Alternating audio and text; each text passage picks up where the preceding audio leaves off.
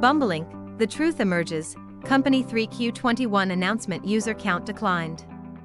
On November 10, 2021, Bumble announced its 3Q21 financial results. The company disclosed that, rather than growing paying users, the company's total paying user count had actually declined to 2.86 million, well below the company's 2.9 million reported paying users as of June 30, 2021 as highlighted in the registration statement. Investors, did you purchase shares of the Class A, common stock of Bumble Inc., BMBL, directly in Bumble's secondary public stock offering which took place?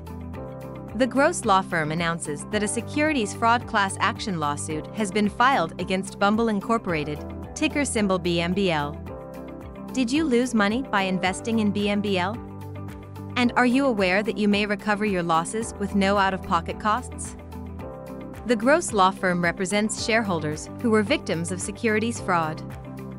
Investors who purchased the Class A, common stock of Bumble directly in Bumble's secondary public stock offering which took place on or about September 10, 2021. These injured investors have until March 25, 2022 to join the lawsuit as a lead plaintiff.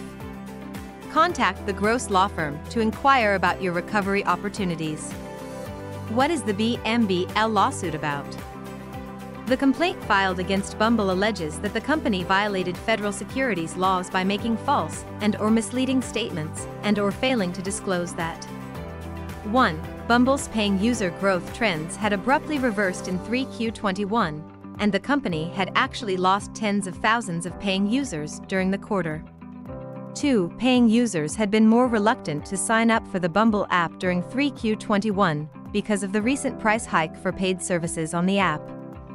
3. A material number of paying users were leaving the Badoo app and or could not make payments through the Badoo app due, in substantial part, to problems arising from the company's transition of its payment platform.